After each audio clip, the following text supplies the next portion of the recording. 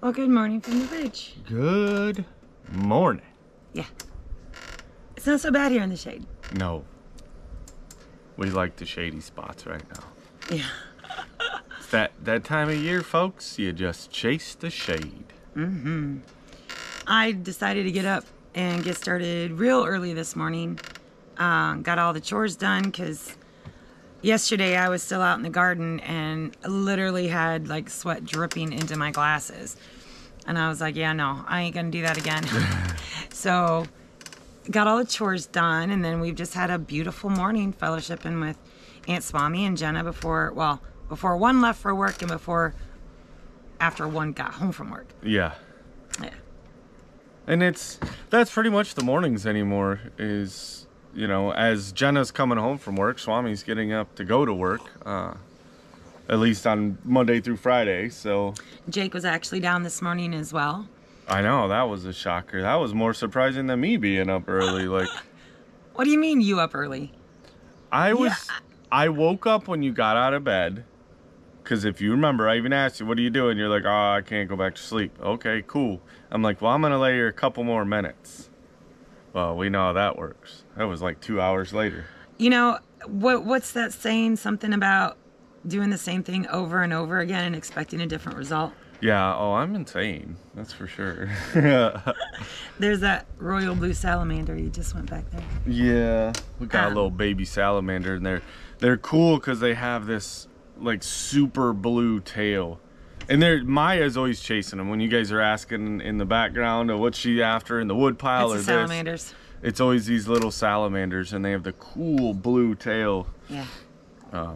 But it's been running up and down the deck all morning, so Yeah, no, Jake was down this morning. Um, so was it when last Wednesday maybe he had taken his kitty in to get spayed. And she's just not recovering very well. Yeah, uh, not eating, not drinking, and he loves his kitty so much. Um, so he came down this morning to get the cat carrier to uh, take her back to the doctor, to the vet. So if you're a kitty lover like we are, definitely say a prayer for his little kitty. Um, he's got such a huge heart. I know he's a big boy, but he's he's a teddy bear oh, the biggest and- teddy bear yeah. ever. Like, and he has a big heart for his cat and i really hope that she turns around or they do whatever they need to do to to get his he'll just be heartbroken if something happens to his cat. Yeah, um, he's only had her what probably six seven months. Um, if that uh, she just showed up yeah. on his doorstep one over- day It, I think it's actually a little over the six months, maybe, because it seems like it was right before it got cold, or it was starting to get cold, and that was part of why. Like she showed up on his doorstep, And just literally, leave. and then wouldn't leave, and he'd went back inside, but then she sat outside just whining, and he's like, "All right, I can't take this anymore," so he brought her in, um, and has had her ever since. your, yeah cats Yeah. choose your owners Um, and he loves that cat. So I'm definitely praying for a recovery for her for sure. Yeah, I'm sure maybe something, you know, they, they probably got to give her some antibiotics. Maybe there was a little infection or something like that. I mean, things happen uh, when they have a surgery like that. So hopefully it's something that they can take care of and won't cost them an arm and a leg. Yeah. But And, just a uh, beautiful day on the ridge so far today. Um, my intent with getting up and getting chores done super early was so that we could work on the YouTube studio. Uh, but then as even as I'm finishing chores, even as we were doing breakfast, um, it's uh, getting we're, we're all getting notices on our phone for the heat index for today and um, the heat advisories and stuff and it's like by the time we drag everything out it i mean it usually takes us about a good 45 minutes to get everything set up to Yeah. even start building uh, and by the time we do that we're we're heading into Well, and I know I've said it a lot of times, but I think I've I, I've got no choice right now other than I need to bring my phone. I don't like to have the phone next to the bed. Like I always keep it downstairs on the charger, but I think I'm gonna have to just bring it up to be able to set the alarm and start getting up early. Cause uh, things are building up and piling up project wise, but and we want to get them done, but it's not a heat stroke is it worth getting, you know, or getting a heat stroke isn't And worth. I know y'all are asking the question in your head, and I'll, I'll answer it for you because I know you have that that that question, right? Here comes the sass. Yeah. Tara, why don't you just wake him up? Yo, he's my husband. I'm his wife. Wife. I'm not his mom. And I I do a lot for my husband to show my appreciation for my husband and the wifely role. And waking somebody up is not part of my role unless there's an emergency or you know something like that and so i've always told him if you want to get up you'll get up And the worst part is, a lot of the times when she's getting out of bed, I do wake up enough to be like, "Hey, what are you doing? Where are you going?" Like, "Oh no, it's not that time yet." And and I'll look at the clock and I'm like, "No, not yet." And really, I just need to get up. But yeah we've been down that road, y'all. This isn't your first day. You know that I like to sleep in, and it's not that. I mean, I guess it's one of those that I I don't know. I guess my body just said, "Hey, sleep in." Like I want to get up and and get going, but just so we can get work done around here. So I don't know. We've got some supplies to get. Um, we did get a couple days worth of time on Swami's shed Mhm. area. Got a lot cut up, and now it's going to be one of those that in the evenings when she gets off work or even towards the weekend, which I mean, right now it's she needs to get it pulled out of there. But I did a lot of the cutting up, got it laid on the ground, pulled some of the stuff out um, that needed out, but you know, she wants to do the work too. And the other thing is, like, we can't detract. I mean, we did take two days because that was her days off and worked on doing the initial clearing because I, I need to be the one. I mean, she did cut the first tree down. Um, but then beyond that, it's like, yeah, no, she's not lugging around a chainsaw. Maybe one of the little battery operated ones, but even then, those are kind of. Jackson kind of ruined me letting people borrow saws when they're not the greatest with them. Um, and he only got a nick, but he still managed to somehow cut himself. And I'm like, okay, there's just some tools that should be left to the people that know what they're doing with them. Yeah. Um, but we ju- we have to be careful um, in time management because as the ridge grows you know y'all know we will help every single way possible with everyone here on the ridge. Yeah, But if we spend all of our time doing for others, regardless of their family, um, we don't get anything done. And so, you know, we we try to balance that, um, and it and it's hard because you want to help, but Yeah. at the same breath, like if if we if we do that, then we'll never get anything of our own done. So we we do have to set a limit. Um, and we do we do the part that we need to do. And like I said, in in uh, with the clearing, it was more of get the trees down, and then they can work on pulling. You know, even I mean, I with the kids think working, it's for hard. you. It'll be like cutting the the things in manageable sizes, Right. That she can haul. and that's where we're at right now. I mean, other than dropping the two big trees, I still need to do that. Um, but I need to get all the little stuff and the manage, you know, the stuff that's already on the ground. So basically, I set it up. She's able to go up like when she gets off work, you know, in the evening. Uh, when it hopefully will start cooling down a little bit, and even if it's just a little bit every day, like, and that's all part of the. We talk about it a, a, a lot here at the Ridge. A lot is just that whole pride and ownership too. Um, them Yeah. wanting to do it on If their we own. do it all for her, then Yeah. Yeah. and you know that's been the same discussion even with Jenna, you know, and and even with Jake's cabin, you know, we did the initial structure, and then he's like, "Well, hey, when can we finish this? Whenever you want to." Like we got the initial structure up for you. Now it's on you to finish it out or make changes or do whatever you're gonna do. Like we'll help you with the major things you know as a, but kind of where she was uh, you know talking about earlier was we've got to be able to get our own projects and the studio has been taking way longer we actually you know, had talked about it. Um, And I think in the last video. Yeah, normally it in. doesn't it doesn't take us that long to do projects like this, but when it's something like this where we all have roofs over our heads, you know, we're this is an extra. This is a convenience build for us to make our lives less YouTubey inside our home. Uh, and Yeah. it's something that we want and we desire, but it's not one of those where like, oh shoot, we have to house somebody or we have to Right.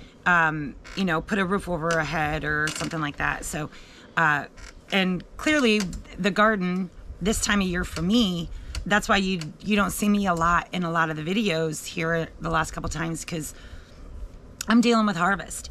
Um, and even the other day, you and Swami worked for a couple hours clearing, um, and I was inside, you know, because I I'd made two ba- big batches of salsa.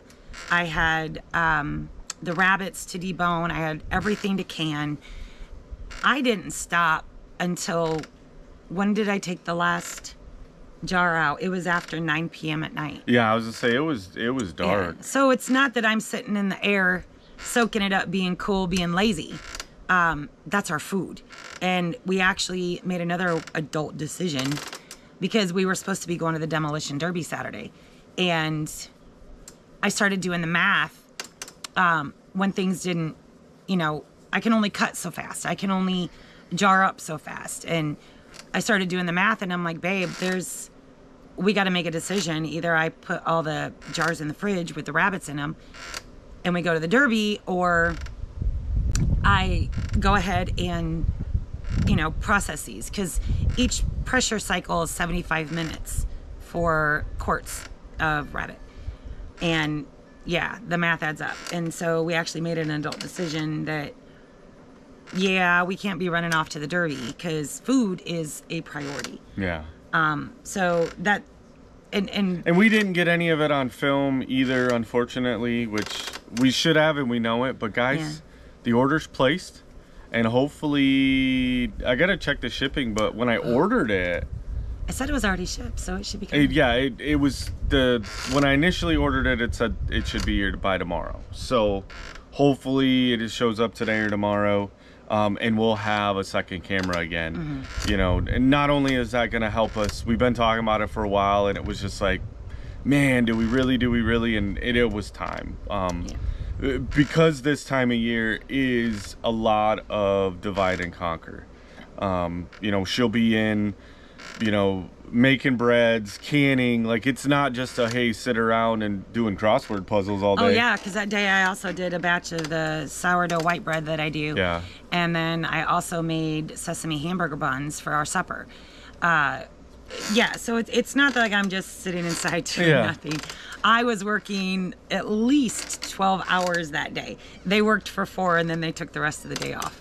But they had the There heat was- to contend with. I'd say that was a hard four. I tell you, like, and even when I look back at it, I'm like, really? It was only you know a few hours, but I had felt like I worked for 18 in in this heat. Yeah. It's just, you know, and we're. I mean, pounding water, sun up to sundown. Like, mm-hmm. a matter of fact, you know, like even most mornings, because I'll I'll have my water bottle, like I'll chug water as soon as I come downstairs before I even have coffee, just to try to get that much more hydration um, going.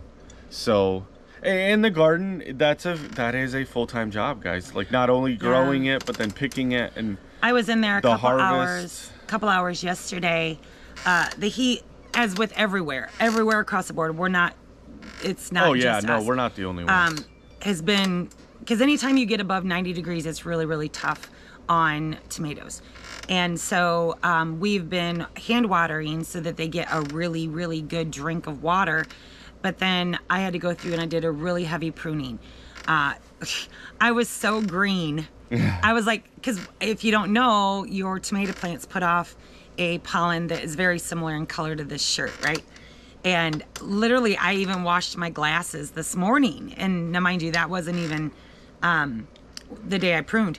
And the paper towel was covered in this color pollen. But yesterday, I washed my hands after coming in after a couple uh, hours in the garden doing the, the heavy pruning on the tomatoes. I was just covered in green bubbles. but, and and I will say, you know how the last one I said I'm not a gardener uh, pro or anything. I did a major faux pas in the garden. Um, because I, I've had these peppers and I've been picking them and they got a little bit of heat. And then, but I'm like, there's supposed to be green peppers in this side of the pepper plateau. And I'm like, they're the strangest green peppers I've ever seen. Guys, they weren't green peppers. They weren't even jalapenos. You're squeaking. I, I'm sorry. They were my cayennes. And I've been prematurely picking them before they turn red. Lots of them. How I got in that bed, I don't know. I clearly thought I labeled everything perfectly and put all the hot peppers and things like that over into the, the hot pepper plateau. Apparently not. So I ruined like a lot. I'm still using them. They've got heat to them. But I wanted them so that I could dry them, you know, dehydrate them and grind them up for, you know, cayenne pepper. That's why I planted them. I didn't know. I didn't know they look like elongated green peppers as they're growing. Till this morning, and I Googled it. No, I pictured this. Yeah, I got did- that app you- picture this. You took a picture with your app, and Yep. And sure enough, when it said cayenne, I was like, because it only said pepper, but it listed the pe- peppers that it could be. And I'm like, no.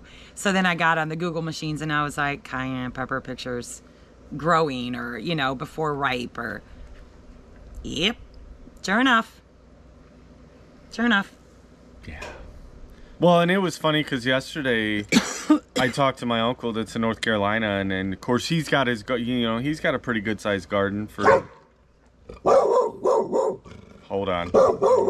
Hey, quit it. No. Jake's back.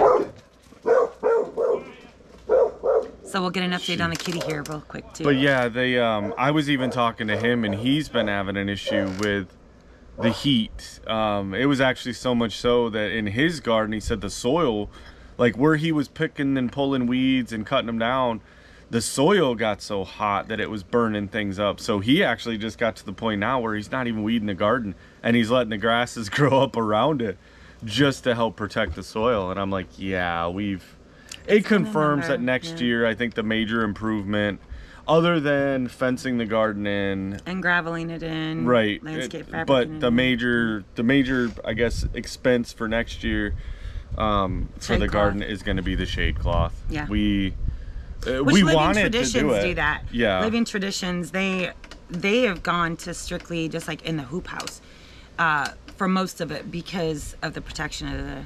Well, here comes Jake. Well, I gave some shots. Gave her a couple shots. Said the incision and everything looked fine. So I think the rabies shot just probably got her sick. Aw. well everything seems good there She then. wasn't too happy. But Oh, I guess she wasn't. She needed her daddy. You want to say hi to good people? Howdy. How you doing? Yeah, we were letting everyone know your kitty was sick, Yeah, she's being ornery. but he felt she was in still good health and good to go. Nice, Didn't have a fever or nothing. nice. So yeah, I just gotta watch her for the next little bit. And, Good deal. so Yeah, we love our animals here on the ridge for sure. Um, well, Jacob might not right Yeah. now. He's covered in scratches. looks like you got a fight with a wolverine look at that stuff. yeah, Fingers. you oughta, you want the fingernail clippers for kitty cats, or did you already take a pair? She got her nails trimmed when I took her to get spayed. oh, nice. Okay. So All right. I guess I'm gonna go eat. have a good one. Love you. got work today oh nice so yeah but i don't know what we're gonna do yet today i mean we we talked about it. We might just go in and do our supply run Yeah. and get that done. Maybe we can get some work done this evening. We'll we'll see. It's because it's hard to um it's hard to take a good work day to do a supply run. Um the way my brain works it's it's a uh, it almost works like on a my time is is financial as well. So it's like it's it's currency in my brain the way my brain works. And if we're wasting a perfectly good work day doing a supply run then to me that's wasted currency in the form of time. Whereas if today we already know that there's a heat advisory um, we'll probably just be inside for the most part in the air um, it makes more sense to do that supply run today even though we don't have air but as we're moving down the road and Yeah, with the you know windows while the wind windows open that's why i put on a hair because i have real fine thin hair. And when it blows it sticks to my face because i use my castor oils and all that but uh yeah. And so i like to keep my my hair out of my face. That's why I wear a hat. It keeps the hair out of my eyes. yeah anyway we're gonna end this here because we know our last one on gratitude was an extremely long video.